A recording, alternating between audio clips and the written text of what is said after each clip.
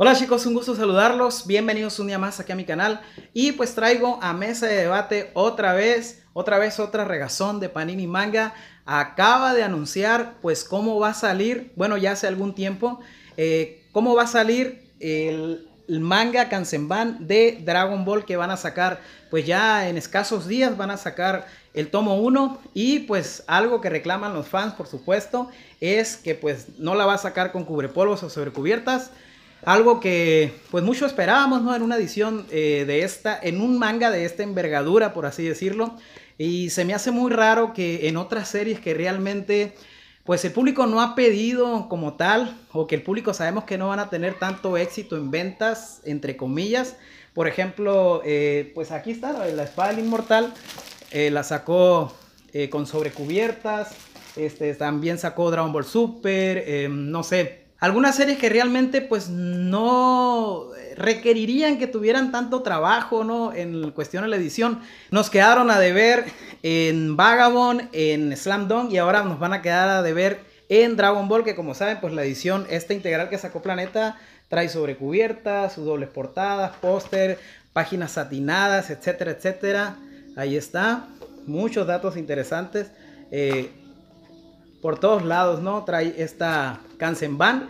Y sin embargo, pues Panini la va a sacar sin la sobrecubierta, cosa que así como la sacaron en Brasil, ¿no? digamos el mismo material. Lo único, pues van a sacar hoja blanca. Y ciertamente, pues muchos pudieran, o muchos hacen la crítica, ¿no? De que, ¿qué importa que no tenga sobrecubierta? Si no importa que tenga sobrecubierta, una edición como esta, ¿no? Una edición sencilla, toncobón.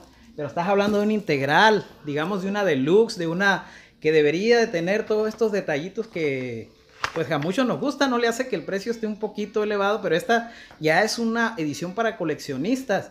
No deberían de sacar una edición así tan paupérrima como piensan sacar Panini, o sea, el hecho de que no le pongan sobrecubierta y estoy seguro por algunas fotos que vi que el, el entintado, el entintado no se ve así, así de bonito, ¿no? El entintado es medio medio manchado ahí, como que no está muy bien esas páginas de color que están anunciando aquí en la publicación. Bueno, eh, la sobrecubierta pues es un lujo, ¿no? Que le, que le añaden, ¿no? Muchos dicen, es que la sobrecubierta me estorba.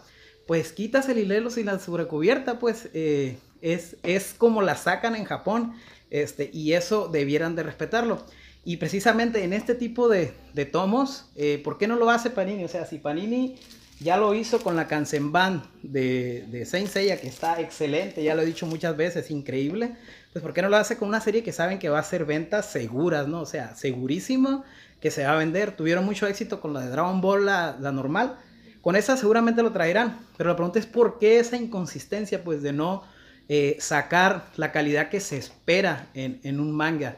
Y bueno, muchísimas gracias. Soy tu amigo Hanamichi. Pon aquí en los comentarios qué piensas acerca de esta nueva edición que va a sacar eh, Panini Manga de la integral o de la Ultimate de Dragon Ball. Este, pon aquí en los comentarios. Nos vemos pronto. Soy tu amigo Hanamichi. Recuerda suscribirte y compartir. Hasta la próxima.